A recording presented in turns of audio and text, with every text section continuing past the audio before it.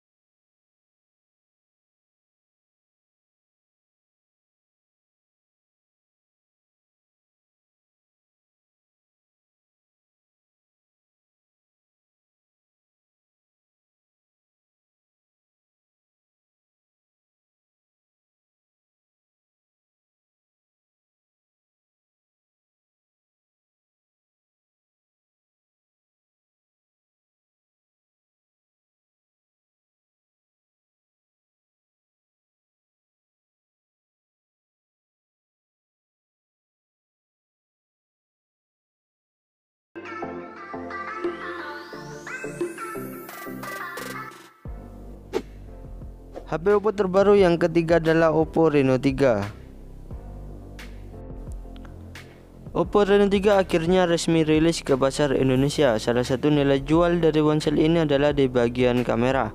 Karena ponsel ini dibekali 4 kamera yang sangat baik. Dengan resolusi 48 megapiksel kamera utamanya, 13 megapiksel sensor telefoto dengan 5 kali hybrid zoom, 8 megapiksel sensor ultrawide dan 2 megapiksel untuk monokrom.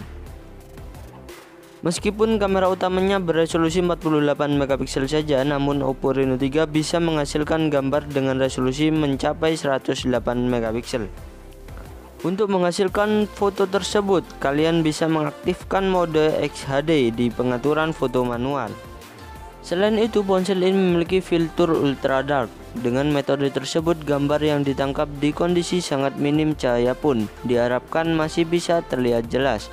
Sementara untuk kamera selfie-nya sebesar 44 megapiksel dan terdapat face unlock untuk sistem keamanannya.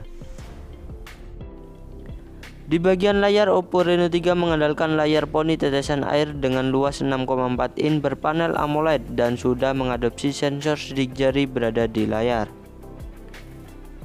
Di bagian performa, Oppo Reno 3 ditenagai oleh chipset MediaTek Helio P90 yang dipadukan dengan RAM 8GB dengan internal 128 GB yang masih dapat diperluas dengan slot microSD. Dan untuk baterainya Oppo Reno 3 dibekali baterai sebesar 4025 mAh yang mendukung fog flash charger 20W dengan port USB Type-C.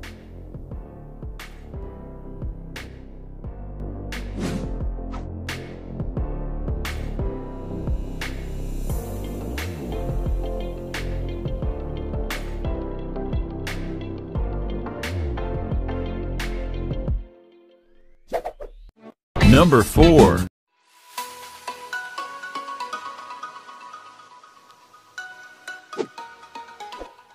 HP Oppo terbaru yang keempat adalah Oppo Find X2.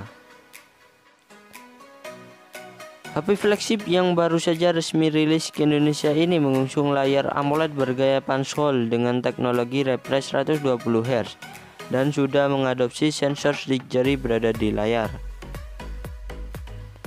Di bagian kamera Oppo Find X2 terdapat tiga kamera utama dengan resolusi 48 megapiksel plus 13 megapiksel dan 12 megapiksel yang mendukung perekaman video di resolusi 4K. Sementara kamera selfie-nya sebesar 32 megapiksel.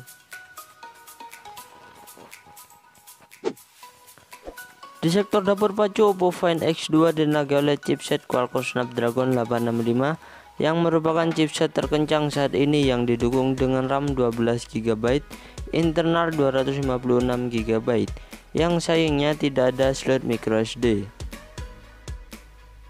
Ponsel ini telah dibekali NFC dan untuk baterainya sebesar 4200 mAh yang mendukung super flash charger 65W yang mampu mengisi daya hingga 100% dalam waktu 38 menit saja.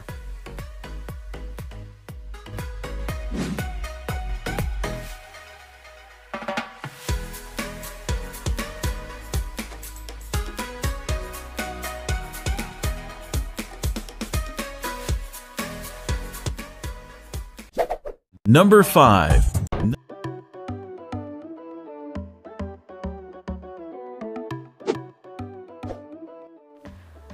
HP Oppo terbaru yang kelima adalah Oppo Find X2 Pro.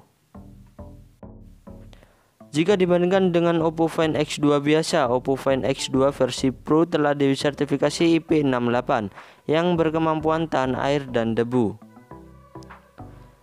Di bagian kamera ponsel ini telah dibekali tiga kamera utama dengan resolusi 48 megapiksel kamera utama, 13 megapiksel sensor telefoto dengan 5 kali optical zoom dan 48 megapiksel sensor ultrawide yang mampu merekam video di resolusi 4K. Sementara kamera selfie-nya sebesar 32 megapiksel. Untuk performanya Oppo Find X2 Pro ditenaga oleh chipset Qualcomm Snapdragon 865 yang dipadukan dengan RAM 12GB dengan internal 512GB yang sayangnya tidak ada slot microSD. Oppo Find X2 Pro telah dibekali NFC dan untuk baterainya sebesar 4260 mAh yang mendukung super flash charger 65W yang mampu mengisi daya hingga 100% dalam waktu 38 menit saja.